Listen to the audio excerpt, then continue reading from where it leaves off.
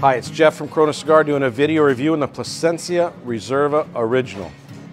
They're hand rolled in the Plasencia's factory in Honduras, but it's 100% organic tobacco from Nestor Jr.'s farm in Nicaragua. Even before I light the cigar, it has a very unique taste. There's something going on here in this tobacco that's very different than the other tobaccos that they grow. It's got a lot of flavor to it, but there's there's no uh, no bite to it.